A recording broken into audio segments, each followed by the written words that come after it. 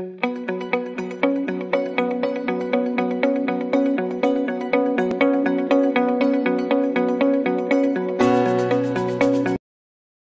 بكم. دعنا نكون واقعيين من البداية. المرأة متطلبة بالفطرة فهي لا تعجب بأي رجل يعترض طريقها كما أن لها مقاييسها في اختيار الرجل الذي سيكون يوما شريكها. سترسم مواصفات رجل أحلامها مسبقا. ولن تتسامح مع أي صفة خارج قائمة شروطها الصارمة. لكن لا داعي للقلق. فأنت حتما ستقوم بجذب أي امرأة بسهولة إذا كنت تمتلك واحدة على الأقل من هذه الصفات التسعة. أولا صاحب حس الفكاهة أو المضحك. صحيح أن جميع النساء يقعن في حب الرجل المضحك ومع ذلك يجب أن تحذر من السقوط في فخ السخافة أو البذاءة أو السخرية لتكون مضحكا. كما أن حس الفكاهة لا يكتسب ومن غير الممكن التظاهر به. بل هو هبة تلقائية في الشخص وكل محاولة منك لإضحاك المرأة ستبوء بالفشل. تذكر أن السر في انجذاب المرأة للرجل المضحك هي عفويته وعدم استخدامه للآخرين كوسيلة للسخرية والإضحاك. ثانياً المستقر مادياً. من الطبيعي أن تنجذب المرأة لميسوري الحال من الرجال، فالعامل المادي يهم أغلب النساء تقريباً. لكن لا يهم أن يكون رصيدك في البنك هو الجانب الجوهري الذي انجذبت إليك من أجله، ولكن عليك أن تكون على الأقل سخياً معها أن تدللها وتحضر لها الهدايا من حين لآخر لا نطلب منك هنا أن تكون مليارديرا ولكن من الرائع أن تكون مستقرا ماديا. ثالثا الناضج.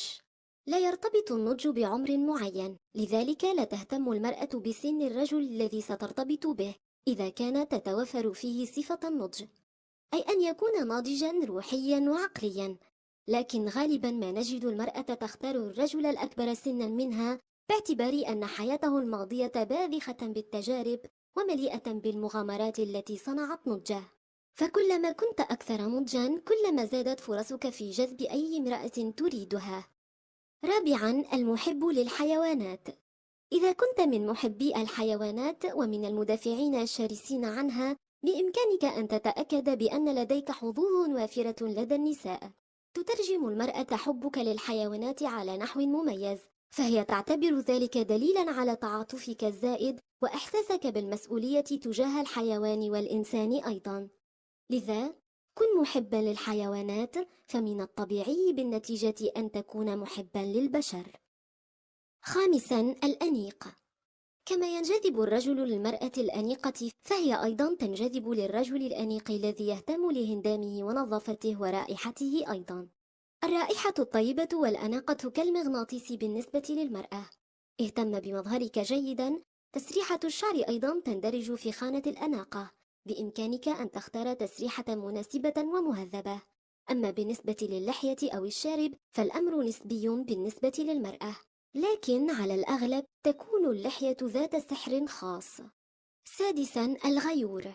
بغض النظر عن مدى أهمية عامل الثقة بين الشريكين إلا أن المرأة لن ترفض أبدا أي رد فعل يوحي بالغيرة من قبل شريكها. تصوروا حياة عاطفية بدون غيرة. أمر لا يطاق حقا. من زاوية أخرى معظم النساء لا يرغبن في تفويت فرصة مشاهدة لهيب الغيرة في عيني الرجل. الأمر يزيده رجولة كما يعزز أنوثتها. أليس كذلك؟ سابعا جسد رياضي.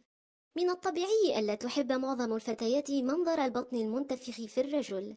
كلما زادت العضلات لديها كلما أصبحت أكثر جاذبية. ربما سيصاب البعض بالإحباط عند هذه النقطة. لكن أنصحك قبل أن تذهب لقاعة الرياضة من أجل جذب الفتيات إليك فكر في الأمر من منطلق صحي وستكون جذابا في كل الحالات. ثامنا يحب الأطفال.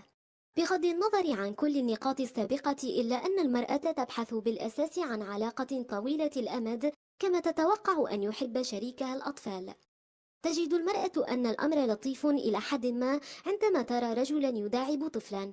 كن محبا للأطفال صديقي لكن لا تتصنع ذلك. تاسعا طويل القامة. قد لا تهتم الكثير من النساء بقامة الشريك لكنهن قد يتأثرن إيجابيا إذا كان الرجل المنشود طويلا بالقدر الذي يتيح لهن تعزيز الشعور بالاحتواء والأنوثة.